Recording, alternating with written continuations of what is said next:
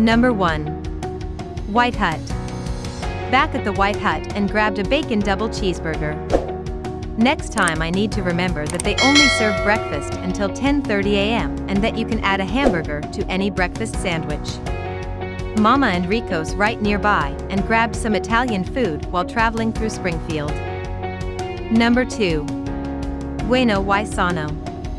We're vegans and make a stop at the Bueno y Sano in Springfield, Massachusetts whenever we go to the Berkshires. We get whole wheat burritos with brown rice or bowls with brown rice. We enjoy the Seitan and East West burritos. The food is healthy and tasty. Number 3. McDonald's. Amidst a terrible day, when everything was taking longer than planned, I went to the drive-through here for a late lunch. Long line was discouraging, but I had limited options. My experience was amazing start to finish. Number 4. Sonic Drive-In.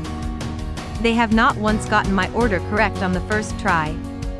On this most recent visit, they forgot to bring out half the order to the stall and it took us several calls and almost an hour to actually receive the missing items. Number 5. Subway.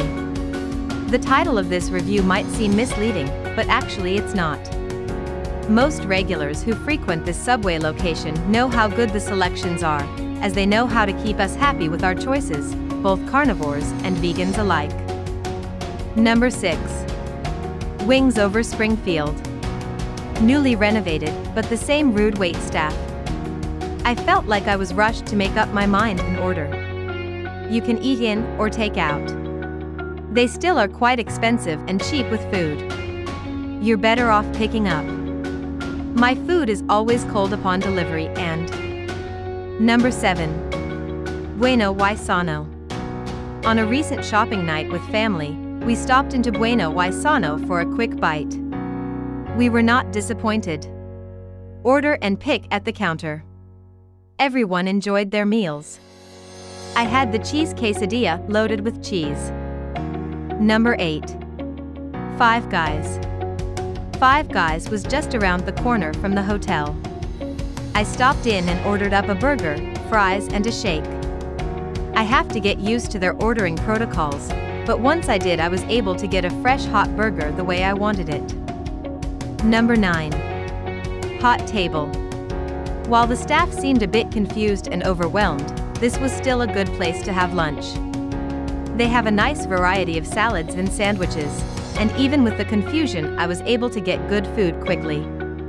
There is both indoor and outside seating, and it was fun to watch people going by as I ate. Number 10. Chick-fil-A. Excited to stop in on a Saturday afternoon on our way to Rhode Island and found Chick-fil-A mobbed as usual. However, I took this as a good sign. Ordering was fast and food was freshly prepared, but the dining room? Tables were dirty. Hope you like this video for more videos please subscribe to our channel.